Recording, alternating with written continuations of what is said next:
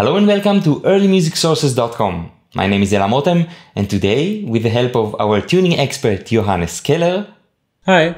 we'll give an overview of temperaments.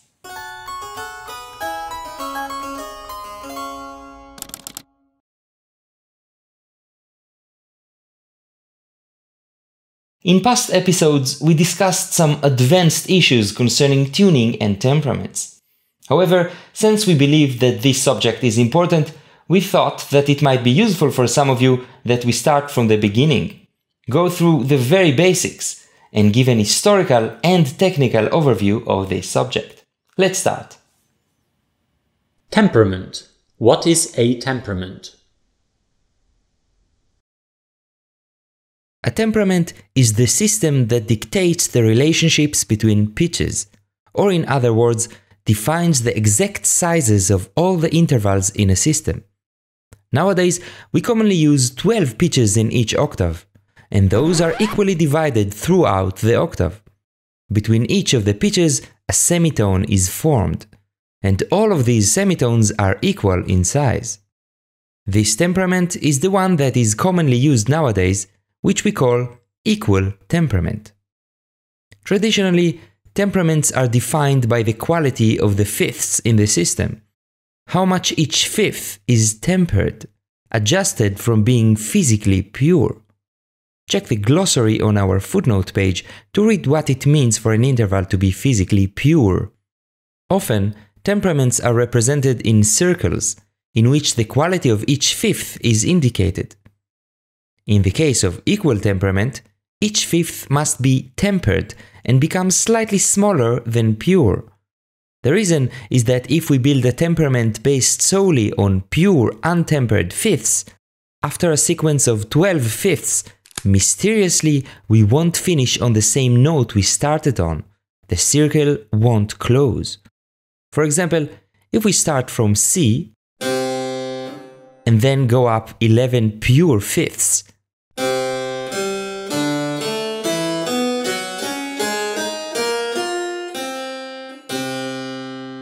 we'll end up with a B sharp, which is not at all equivalent to our initial C. It is higher by an interval called the Pythagorean comma. Here is where we started, and here we landed. This might seem a bit weird, as it would be nice to believe that nature obeys the circle of fifths, but this is not the case, and we have to deal with it. Let us return to equal temperament. The way it deals with this defect is by dividing this additional little interval of a comma between all the fifths, so that each fifth is smaller by a twelfth of it. We end up with fifths that are a bit impure. But what about the other intervals? After the fifths, the major thirds are next in importance when discussing temperaments. And in this case, they are also impure. In fact, they are more impure than the fifths are impure. When compared to pure major thirds, the equal temperament thirds are much larger. Let's listen to a pure major third. And now to an equal temperament third, just as it is tuned on your piano. Notice we are referring to pure versus impure just because it is something to hang on to. Pure intervals can be recognized on the spot by human ears, while impure ones can only be measured exactly with the help of machines. Pure is not necessarily better or more noble than impure. All music ever created by humans mainly consists of impure intervals. So, equal temperament consists of tempered impure fifths, and major thirds that are even more impure. And there's nothing wrong about that. It's important to note that equal temperament is not a modern invention. Throughout the history of tuning and temperaments, it was known and in some cases used. However, while in historical periods it coexisted along with more common temperaments, in modern times it became more or less the one and only temperament. Now, let's see what kind of temperaments, fifths, and thirds were used in the medieval and Renaissance periods. Generally, no temperament or tuning has survived from older times. We can only learn about temperaments from textual descriptions, but the connection between those to actual practice can only be assumed. Having said that, it seems that until roughly the 15th century, the medieval period if you wish, the common way to tune was using the so-called Pythagorean tuning. This is in fact merely a tuning and not a temperament as nothing is tempered. It is built from a sequence of pure fifths in which its two ends never meet. One was not aiming for a closed circle, and certainly not one of specifically 12 pitches, as early instruments often had fewer than 12 pitches per octave. With time, when 12 pitches per octave became common, the two ends of the tuning were sometimes placed on G sharp and E flat, two notes that were not meant to be played together. In later theories, this extremely impure, excessively large interval was called the wolf. It doesn't matter that it doesn't sound good. It's like a hidden dark place in your house that is not meant to be seen by anyone. The rest of the fifths are all pure, which is great, but this is not the whole picture the resulting major thirds are very much larger than pure major thirds. In fact, since they are so different from pure major thirds, instead of referring to the Pythagorean major thirds as thirds, in some sources they are called a ditonus, a double tone. To compare, here is a pure major third. And here is a Pythagorean major third, a ditonus. The semitones in this system are not at all equal. There are big semitones and small semitones. In comparison to equal temperament, the mi notes, the sharps, are slightly higher. And the fa notes, the flats, are slightly lower. The tuning can be seen in connection with the conventions according to which certain music was composed. For example, the openings and endings of pieces in this period only ever used octaves and fifths, intervals that are purely tuned in this tuning. But in cadences, major thirds and sixths, which are highly impure in this tuning, were used. It might be that the impurely tuned intervals were used in cadences to create tension towards the purely tuned intervals and by this create resolution. In this excerpt from a piece by Johannes Ciconia, there is a typical cadence of this nature, which can be found also in countless other pieces from the 14th and 15th centuries.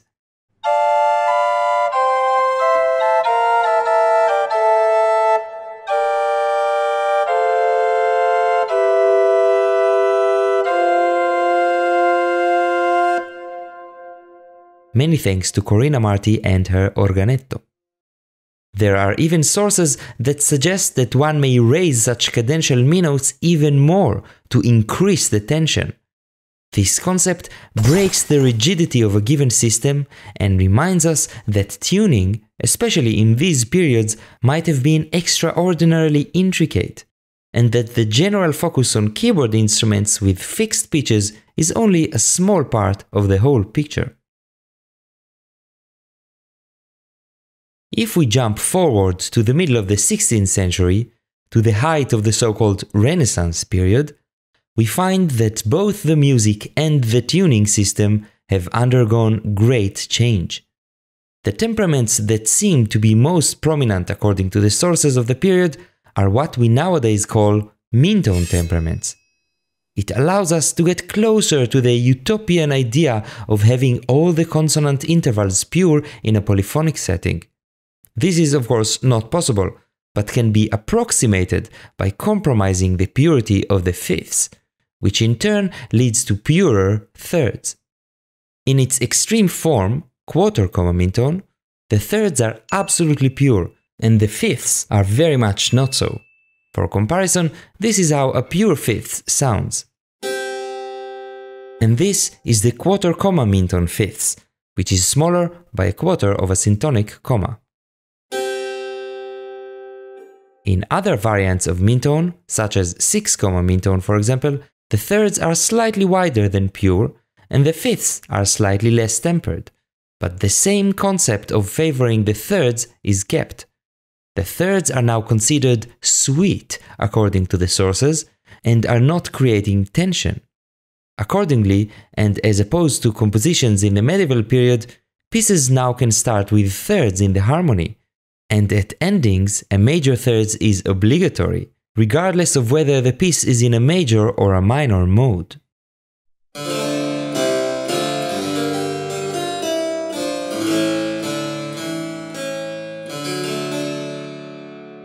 Also here, the semitones are not at all equal. In comparison to the equal temperament, the mi notes, the sharps, are now significantly lower. And the fa notes, the flats, are significantly higher. Notice, mean-tone temperaments, both in theory and in practice, include more than only 12 pitches per octave. When we do use mean tone on a 12 keys per octave instrument, we just use a subset of a bigger arsenal of pitches. And just as in Pythagorean tuning, we put the wolf where we think it would do the least harm. As opposed to equal temperament, we choose the same pitch for different notes, the so-called enharmonics. In mean tone, every note has its own pitch. In other words, E flat, for example, is not the same pitch as D sharp. Here is how E flat sounds in a quarter comma mean tone temperament. And here is how D sharp sounds. E flat, D sharp. It is true that most of the music did not employ more than 12 pitches. Some even employed fewer than 12 pitches. The number 12 was not important. However, the large number of notes of the mean tone system were always there, and many distinguished composers, as well as instrument builders, experimented and included such pitches in their work and instruments.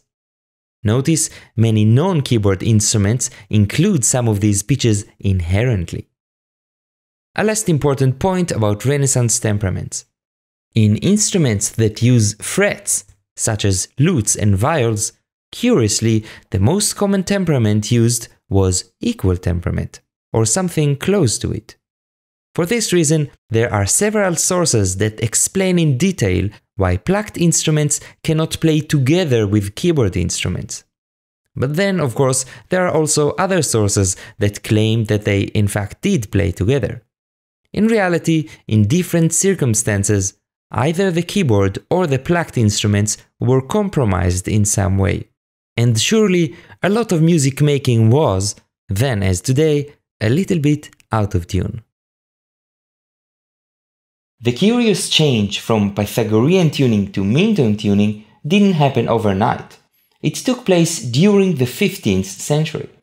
To this day, musicologists and musicians are not sure how it happened, and for many repertoires, it is not at all clear what the most appropriate tuning system might be. Now, let's jump yet another century forward and look at the next big change in concept that took place sometime in the middle of the 17th century, from mean tone temperaments to irregular temperaments. In an episode dedicated to the late 17th century anonymous treatise Regole di canto figurato, contrappunto da accompagnare, we quoted its writer claiming that every sharp can serve as the flat of another note. For example, the sharp of C serves as the flat of D. This, in addition to the fact that in his treatise and in many other sources from that period we find music in keys that demand many unusual accidentals, suggests that it was not possible to use mean tone tuning anymore. It seems that they used temperaments of only 12 pitches that tolerated the use of different notes with the same pitches. These include the equal temperament, that was discussed and in use by some in the 17th and 18th centuries, but more importantly, the so called irregular temperaments or well tempered temperaments that seem to have been more common. In irregular temperaments, as opposed to equal temperament, some intervals and by extension some tonalities will sound nice, with purer intervals, and other intervals and tonalities will sound less nice.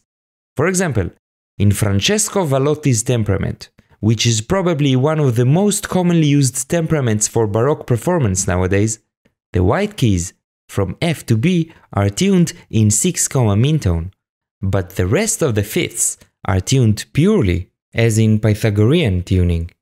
This means that the chord C major, for example, is as nice as it is in 6 mean tone.